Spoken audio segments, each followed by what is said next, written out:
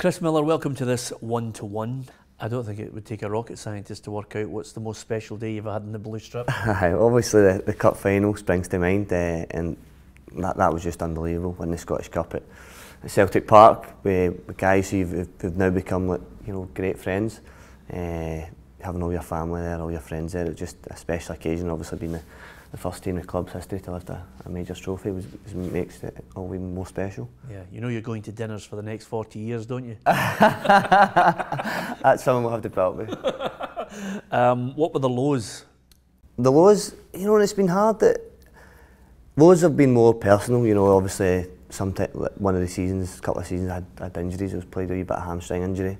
Uh, that that was frustrating because obviously you wanted to play and there was times where we were coming back working really hard rehab and then for whatever reason it was it was going again and you know that's something that I've managed to work hard and put behind me but uh, that that was probably low and, and also I was getting told that you're, you're not going to get a, a contract again because you know I still feel great I really do you know 35 obviously some people might think that's a bit over the hill but I'm feeling really good I've always looked after myself I've known major injuries wise so you know I'm hoping to, to, to find a new club and, and play another season reading into that, were you stunned when he when he took you in and uh, offered you those fatal words? I wasn't stunned because the way the year had went, you know, you, you know as yourself as a player, I wasn't playing as much as what I wanted to. I was coming in and out. I'd been told in the summer that I could find a new club, and I managed to change his mind, uh, which doesn't happen very often. I'll, I'll tell you. Uh, but you know, it's it was coming, and when he told me, obviously, uh, I was like, right, fair enough. It's not nice to hear, and I, sure he didn't, Gaffer didn't enjoy doing it either, obviously, because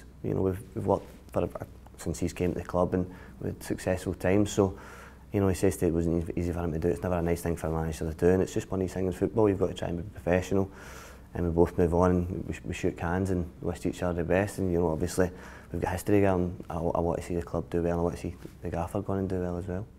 When you look back, um, is he the most influential of managers you've had?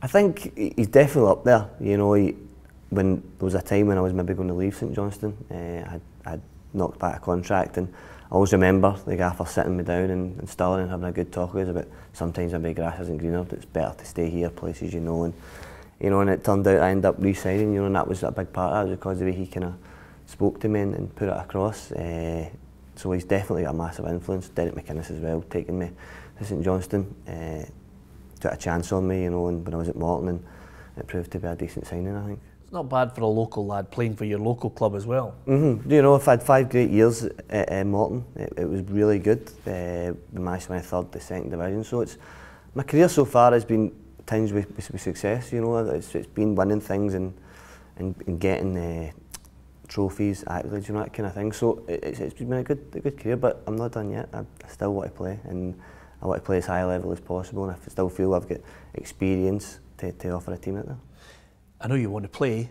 Do you think you're good enough to play in the Premiership next season? I think I've shown this year in, in uh, my performances. You know, I had two and a half months out not, not playing when I thought it was going. I get brought in at, at Ibrox and, you know, I probably played one of the best games I've, I've actually played uh, after knocking the ball for two and a half months. So I know any time I've been called upon, you know, I, I've come in and done a, a good job for the team at St Johnstone. And, you know, for me, that means that I've still got something to offer at, at, at the Premiership level. When you look back, um, you're talking about levels. European football, however short it lasted at times, you still get the chance to say you played in it. Mm-hmm. No, it was, it was a great experience, and that's something that I'll always be grateful for for signing for St Johnstone. It gave me a chance to play on a European level. It doesn't matter whether it be first round, second round, whatever it is. You know, we played some big teams. The Rosenborg game obviously springs to mind. Over there, went over and, and won 1 0 two seasons before. They'd been playing the uh, Champions League quarter final. So that was no mean feat. Uh, you know, it's been great to experience those, you know, playing against different teams, different cultures, and it's something that, as a player, any player, you want to try and do. Is there a, a particular, you haven't scored that many, you've created a few, but is there a, is there a particular goal that sticks in your mind? Uh, a couple of goals, uh, my first goal uh, for the club down at Queen of the South, it was a three each game, and just to get that, that first goal was just a massive relief you know, I'd been brought in as a kind of goal scoring midfielder because I'd, I'd scored a few at Morton at the time, but just the way it worked out, I, played further uh, on the right and I was playing more centre for Morton. But, you know, as, as the years went on, I kind of progressed, or we'll say regressed, we'll say progressed, right? and I kind of holding midfielder. Uh, and uh, it was great. You know, I managed to play a lot of games, but the, the, I think the, the winner against Dundee United, the 2-1 game, uh, it was one each up to 85 minutes and went on a wee mazy. Managed to beat John Rankin a couple of times and then stick it in the corner to win 2-1. And the, the celebrations that, you know, was amazing. Like, the boys just absolutely jumped on top of me. I was at the bottom of it, squealing I can't breathe. And it was just great to see them kind of celebrate that with me as well. Will all your family be there on Saturday? You know, my, my wife's just opened up her own salon, so that's one of the things she was saying. She was, uh, the way it's when this year, like, I've not played as much, she was like, women can be a bit touchy, so I'm not going to any games. And then when I found out I was going to move on, she's like, oh, I'm absolutely gutted that I can't make the game. But, you know, my two young girls will be there, Ellie and Sophia. Um, mum and dad will be up, and all my brothers. So it'll be nice to, to share that occasion with them. And, and uh, I look forward to it again, saying, thanking all the fans and, and everybody at the club that's, that's made my time so memorable. Well, give me an insight into you as a person. Are you the type of person that'll be a, a cold, stoic wave, or are you going to be an emotional bubble? are you going to be an emotional, bubbling wreck? I think anybody that knows me will say it's the, the latter there. And uh, even when some of the messages were coming through, like obviously I put a wee thing on my Facebook and, and Twitter just thanking everybody that when it was announced. And you know, some of the messages that came through, I was like, I did, had tears in my eyes when I reading them because you, a club or as a player, you want to make a mark on the game or a mark at a club. And, you know, and, and the messages I've been getting through it, it seems that I've managed to do that. So, you know, when you when I think my player that always gives my my all and wears my heart on my sleeve, and, and I, I just can't help that way. So I know for a fact that there'll be tears and starters at the end of the game, but you know, it'll be good to get even my, my two girls on the pitch and, and really savour the occasion. Uh, you've got that sense of family about it. What would your message be to the to the St Johnstone fans who obviously you won't be playing in front of again in their strip? You know, I'd, I'd just like to take the opportunity to thank them for all their support throughout the years. Uh, they took not only myself but my, my family to their hearts and, and uh, really made us feel welcome at the club. And you know, it's been a magnificent time for me personally, and I think it's been a, a great time for, for the club. So for everything and everything they've done for me, I just like to wish them my, my deepest thanks. And uh, I've always a place for the club in my heart. Ruffy and I have been monitoring your career. We're worried because it's getting ever closer now to the part where you make that shift. are you are you ready to be a journalist or are you going to go into coaching? What are you going to do? I don't know. It's you know it's like it's in, in life and football. It's opportunities have got to be there and it's got to be the right one. Uh, you know I, I doing all the media stuff. Uh, I I've started doing my own personal training stuff now and so if you're ever looking for a for some training, come and see me. We work heavily on our we work heavily on our touch. You know, I, I we've adopted the Chris Waddle thing. Why run 40 yards when you can pass it 40? no, but uh, you know, I'd love to do some more media work, uh, and if that's something that, that's going to happen in the future, it's, it's all about opportunity. So if there's anybody that would like to give me an opportunity, then I'm more than happy to take it. Yeah, you've loaded the bases, but do you think going back to the the start of it all?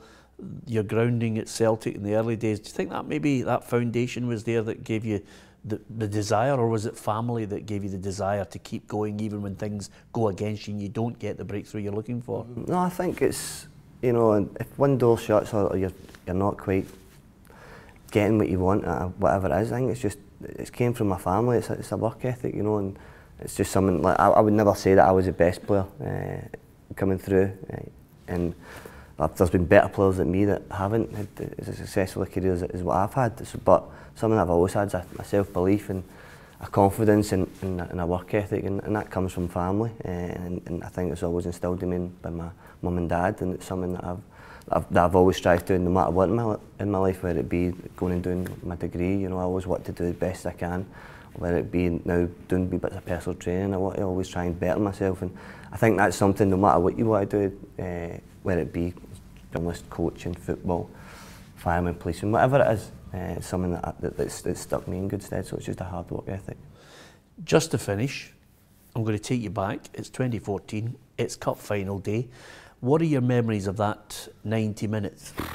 Oh, it's it goes in a blur. It does. You, you, you just want to. I remember the first 10 minutes. I was thinking myself, get a touch of the ball because it was like it was quite frantic. Uh, and then I managed to get a, a bit of touch in the ball, get the ball down playing, start to kind of calm us down a wee bit. Uh, and then the, my first real memory is with a couple of chances just before the goal. I put a couple of nice through balls down the left hand side, put David Wotherspoon back, and then it cut back to James Dunn, the keeper saved it. And then obviously the, one of the biggest memories is, is the goals, obviously. The goal ball coming in, Ando getting uh, above Keith Watson at the back post is obviously now at, St Johnstone. We don't like to remind him of that now and again. Getting that goal and then uh, Alan Mannus, the one that hits the bar and it comes down, hits his back, and manages to stay him. When things like that happen, you think this, this could be our time. And then obviously uh, Steve McLean, you know, there was a 50-50 and I know Macca well and there was only one person that was coming out and talk with that ball and it was Steve McLean. Goes through, wins it, puts in and he's off his tap into the crowd. And I think his family and all were just at that corner as well, so he managed to get on and celebrate with them. And obviously with the full-time whistle and it's just elation. It's just the best feeling I've ever had in, in my whole my career at football and then you manage to get my wife, they were sitting up at the top, but they managed to get the, uh, down with my girls and get him on the park, get my nephew onto the park, and then the whole celebrations after it, the open top bus, getting your medal, getting out, all that kind of stuff is just, and then on a drink for about two or three days, I think it was. that, that's when it goes a bit blurry. But uh, no, it was just a fantastic occasion. It's and it's something that you would have loved to have relived, you know, throughout your career. It was always a, you always strive for that, but the fact that you got to do it once, you know, is enough.